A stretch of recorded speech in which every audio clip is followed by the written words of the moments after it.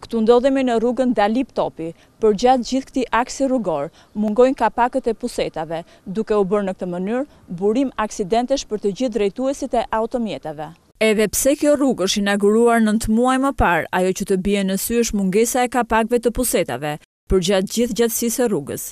Sikur të mos mjaftonte kjo, sistemi i ndriçimit nuk është funksional dhe gjatë orëve të mbrëmjes situata bëhet mjaft kritike, pasi drejtuesit e mjeteve rrezikojnë të përfundojnë në pusetat e hapura, ndërsa për kalimtarët shqetësim janë fëmijët të cilët kalojnë në këtë aks rrugor. Këto pusetat janë shumë shqetësim për neve sepse bëjmë ecjen gjatë darkës edhe kanë rënë dhe fëmijë brenda në puseta. Edhe me makinë është problem, sepse makinat e vogla, domethënë kanë ashtu ngecin rrotat aty, ato që janë më të vogla.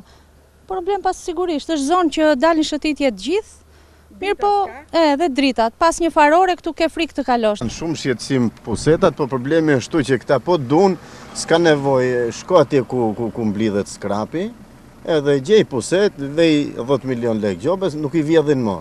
Po s'pate ku me çu, normal që nuk e vjedh. Po, si nuk janë problem. Janë fëmijë të vegjël edhe bijnë aty, s'u lajnë vetë, mjaftë me lidhu në karrocë. Shumë problem.